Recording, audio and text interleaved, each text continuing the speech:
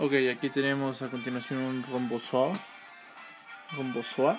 Y aquí podemos observarlo eh, como esta parte apical es la que dará origen a otro rombozoario, em, ya sea primario o secundario. Estas partes negras son la división de cada cámara celular que contiene y haciendo un acercamiento con la lupa podremos observar mucho mejor los cilios.